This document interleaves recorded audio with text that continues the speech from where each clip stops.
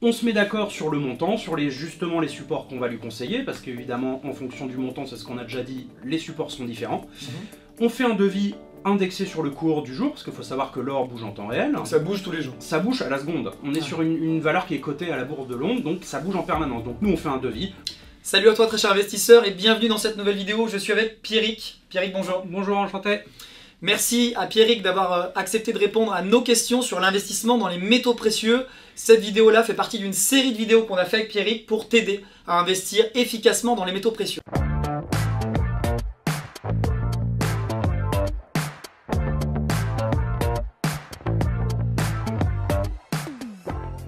Dans cette vidéo, euh, je veux te parler eh bien, de l'or physique versus l'or papier. C'est un sujet qui est très intéressant et à mon sens très important, avec bien sûr une mise en garde, on va en parler juste après. Si c'est pas encore le cas, je t'invite à t'abonner à la chaîne YouTube, à cliquer sur la petite cloche pour activer les notifications et recevoir toutes nos prochaines vidéos. Bien sûr, si la vidéo te plaît, à nous encourager avec un like. Et si tu as des questions, à les mettre en commentaire et on y répondra avec plaisir, avec l'aide de Pierrick bien entendu. Dans cette vidéo, donc, parlons Pierrick, si tu veux bien, de l'or physique versus l'or papier. Est-ce que déjà tu peux nous définir ce qu'est l'or physique et ce qu'est l'or papier Le principe de l'or physique, c'est qu'on est sur du palpable, du tangible. Vous avez plusieurs modèles, des lingots, des pièces, etc. L'or papier, c'est le même fonctionnement qu'une action. C'est concrètement, vous avez un bout de papier qui vous dit vous êtes détenteur d'or, sauf que sur le marché, il n'est pas présent. Alors concrètement, on parle de contrat à terme, de certificat or, mais qui est-ce qui émet ces titres? Alors, on va avoir plusieurs institutions financières qui vont émettre tout ça. Donc, euh, ce qu'on appelle des institutionnels, ils émettent sur le, marché de leur papier. Le problème aujourd'hui, c'est qu'ils en émettent de plus en plus par rapport à une quantité physique qui n'est pas disponible. C'est ça aujourd'hui où réside le problème. On parle souvent de un contrat, de 200 contrats à terme pour une once réelle d'or réellement détenu. Et encore, euh, ce que je disais, hein, ça peut être bien pire que ça. On peut parler même parfois de 1000 euh, certificats contre une once réelle physique. Aujourd'hui, moi, de ce que je, je lis, on estime qu'il y a une, on- une once d'or physique pour 1000 onces papier vendus. Ok. Donc c'est ça qui pose le, le réel problème pour moi. Disons que si vous souhaitez acheter de l'or papier, dans ce cas-là, achetez plutôt de l'action. Parce qu'on est autant sur un actif qui va pas augmenter aussi vite que de l'action, avec peu de risques certes, mais par contre vous avez un risque majeur pour moi, c'est ce qu'on appelle le risque de contrepartie. Ouais. C'est-à-dire que si tous les investisseurs qui ont de leur papier en temps de crise décident de vouloir rapatrier leur contrat une fois qu'ils sont arrivés à terme, eh ben, les institutionnels qui ont émis ces, ces- ces bons papiers ne pourront pas vous fournir leur physique. Donc ça reviendra à avoir un, bout de papier qui ne vaut rien. Donc Ouais. c'est là où moi je conseille dans ce cas-là plutôt partir sur du physique, sinon aller en bourse classique. On va, en- on va en reparler juste après, mais je voudrais quand même être juste face aux certificats or et aux contrats à terme. Il peut y avoir quand même des intérêts.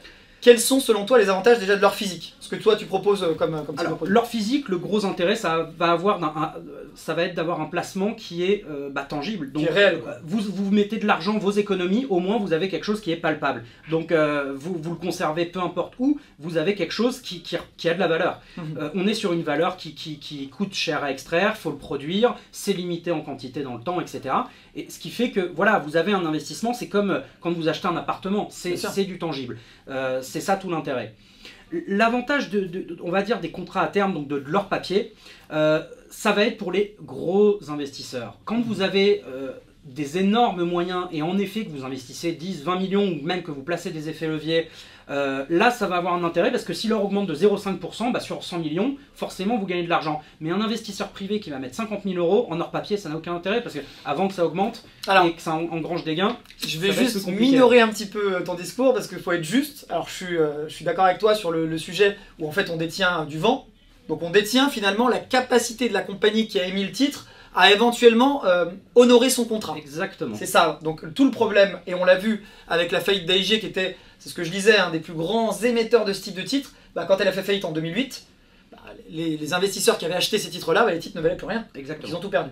Donc ça, c'est vraiment le risque. Et c'est pour ça que moi, à titre personnel, j'investis surtout sur de l'or physique.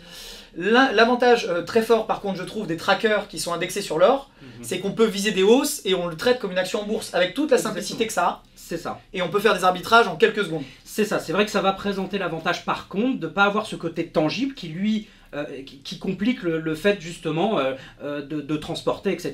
Quand vous avez du papier, sur un simple clic, on prend sa plus-value.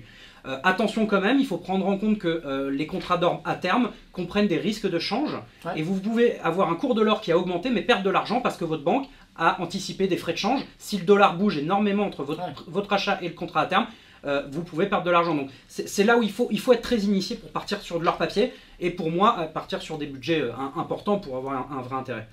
Moi qui suis, et j'adore le dire, petit-fils de paysan, et j'aime bien, et j'adore les entrepreneurs qui ont ce bon sens paysan, c'est-à-dire terre à terre. Là, devant moi, j'ai des lingots. donc, bon, c'est pas les miens, c'est ceux de l'entreprise. Et je te remercie, Pierrick, de m'avoir montré ce type de produit. J'ai des pièces en or, j'ai des lingotins, j'ai des pièces en argent, un lingot d'argent. Ça, c'est du concret, on peut le toucher. Tu vois, là, je le touche, je l'ai dans la main. Euh, moi, ça me rassure. Ça me rassure en tant qu'épargnant et je me dis, contrairement, parce que quand on investit dans ce type de, support, c'est aussi qu'on veut se protéger d'une éventuelle euh, baisse de la valeur monétaire. Puisque, euh, tu le sais, actuellement, les banques centrales impriment de la monnaie de manière massive. Tu me le disais tout à l'heure, combien de pourcents de, dollars créés sur l'année 2020 Bah là, en un an, on a, on a, émis 20% de la masse monétaire totale américaine. Donc sur tous les dollars en circulation, vous avez 20% qui ont été imprimés juste cette année. C'est colossal. C'est colossal. C'est colossal. Par rapport à 1% tous les ans. Et je prends d'ailleurs toujours l'exemple, l'anecdote personnelle. Ma compagne est de nationalité américaine. Elle a reçu, elle travaille bien sûr ici depuis 10 ans. Elle gagne bien sa vie, elle n'a pas besoin d'aide du gouvernement américain. Elle a reçu à la maison un chèque d'environ 2000 dollars parce que les États-Unis sont en mode hélicoptère monnaie et que sous euh, l'ère Trump, mais ça va être pareil avec euh, Joe Biden, le, nouveau président, et Joe Biden, le nouveau président des États-Unis, euh, est toujours dans une logique pour soutenir l'économie américaine, et eh bien de quantitative easing, d'impression monétaire très forte. Donc c'est pas prêt de changer.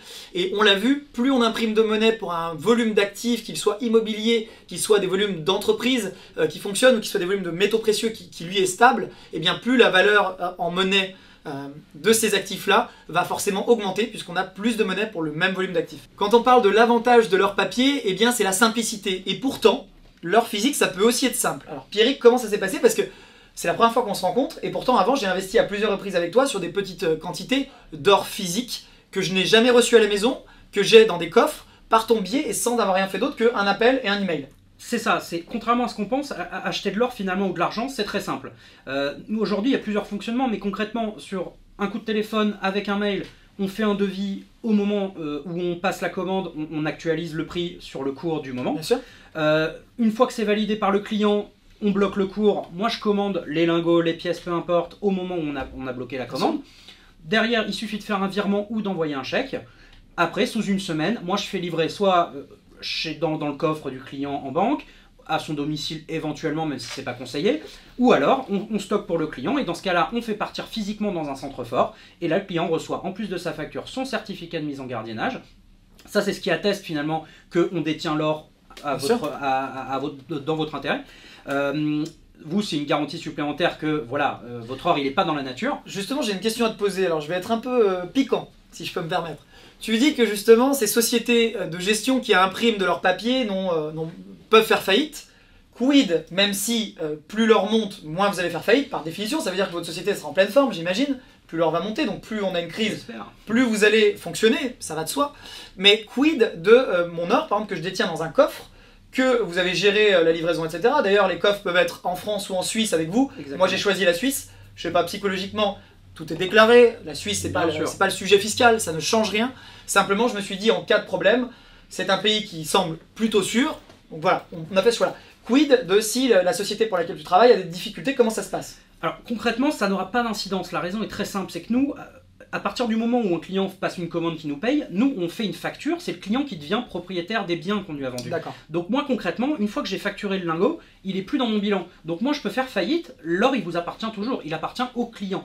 Euh, d'autant plus qu'on est sur des coffres de sécurisés mais externalisés qui ne nous appartiennent pas. Donc même en cas de faillite, l'or elle reste stockée dans ce coffre-là. Donc nous on repasse le contrat au client en direct et il récupère son or, voire même euh, on, le lise directement euh, si vraiment on est en difficulté. Mais c'est le gros avantage, c'est que nous on n'est plus propriétaire de l'or et on a mis physiquement les produits stockés. Ça c'est très important, c'est une question qui revient souvent. Nous, c'est pas de l'or papier justement, ce qu'on fait, on fait de l'or physique et donc physiquement on place les produits en coffre, mais c'est hors de notre bilan, c'est le client qui en est propriétaire et ne serait-ce qu'avec la facture, c'est votre titre de propriété. En plus du bon du certificat de mise en gardiennage qu'on vous fournit. Génial. Donc on l'a bien compris, l'avantage de l'or physique, eh bien c'est qu'on a un actif tangible qui a une valeur, euh, une cote, cote qui évolue à la hausse à la baisse. On anticipe des hausses avec l'impression monétaire, mais personne n'a de boule de cristal, j'aime bien le dire. Hein. C'est comme quand on me demande si les prix de l'immobilier vont monter, vont baisser, vont être stables. Je peux avoir un avis personnel, mais il est très important que, en tant qu'investisseur, tu te fasses ton propre avis et que tu prennes tes propres décisions, parce que c'est bien ton argent et pas le mien euh, qui va être engagé si tu investis. On est donc sur un actif réel qui va potentiellement s'apprécier, en tout cas sa cote va évoluer. Euh, l'or papier, c'est un actif très liquide et beaucoup plus facile encore que l'or physique, mais qui peut avoir quelques problèmes en cas euh, bah, de, difficulté de la compagnie qui émet les titres, parce qu'il n'est pas adossé à de l'or physique justement. C'est-à-dire qu'il n'est pas adossé ou très peu à de l'or physique. Donc moi, mon conseil, toujours pareil, hein, en bon père de famille, c'est de prendre le moins de risques possible. Donc, pour moi, en tout cas, c'est ce que je m'applique à titre personnel, le moins de risques, c'est le tangible, c'est leur physique. Et surtout qu'aujourd'hui, on l'a vu avec Pierrick, euh, bah, quand vous investissez avec des sociétés spécialisées, des sociétés de confiance, vous pouvez le faire, surtout une fois qu'ils vous connaissent, par téléphone, par email. Dernière petite question, Pierrick, euh, si aujourd'hui je te passe un ordre par téléphone, par email, et que ça évolue beaucoup, donc je te dis, bah voilà, je t'achète, je dis n'importe quoi, je t'achète 10 000 euros d'or, on fait un email, tu me fais la facture, le devis, le temps que le virement arrive et que l'or soit livré, ça a augmenté ou ça a baissé? Qu'est-ce qui se passe? Concrètement, c'est l'avantage de travailler avec nous, c'est que on, a les reins solides. Donc, euh, moi, à partir du moment où j'ai la validation de ta part, comme quoi tu veux bloquer ces 10 000 euros, mhm. même si moi j'ai pas encore été payé par ta, banque, je vais commander tout de suite les produits. Donc, moi, je vais les commander au moment où on a bloqué, donc au cours. Donc, même si le cours augmente de 50% le lendemain, moi j'ai commandé au moment où on a passé la commande. À l'inverse, si le cours a baissé, tant pis, j'aurais dû attendre et, et passer la commande le lendemain, attendre que ça baisse, mais c'est bien le cours du jour. C'est le cours au moment où j'ai l'accord du client. Et moi, je fais l'avance de trésorerie pour commander les produits, ce qui fait que euh, j'attends pas d'être payé parce qu'en effet, si moi j'attends d'être payé et que le cours augmente entre temps, bah moi ma, commission elle, est, liquidée par cette augmentation. Super, bah écoute, merci Pierrick pour tous ces conseils. Merci Manuel, avec grand plaisir. J'espère que cette vidéo t'a plu. Si c'est pas encore le cas, pense à t'abonner à la chaîne, à activer la petite cloche de notification. Tu le sais, c'est une chaîne où on parle beaucoup plus d'investissement immobilier et j'ai voulu te parler d'autres formes d'investissement. Dis-moi en commentaire et mets-moi un like si la vidéo t'a plu, ça m'encouragera à aller plus encore vers ce type de vidéo. Si tu as des questions également, pose-les directement dans les commentaires auprès de Pierrick. Pense à télécharger tes cadeaux dans la description, notamment euh, les conseils pour construire ton portefeuille pour investir dans les métaux, découvrir toutes les autres vidéos qu'on a fait ensemble avec Pierrick. Un grand merci d'avoir suivi cette vidéo jusqu'au bout et à bientôt pour de nouvelles aventures immobilières et d'investissement.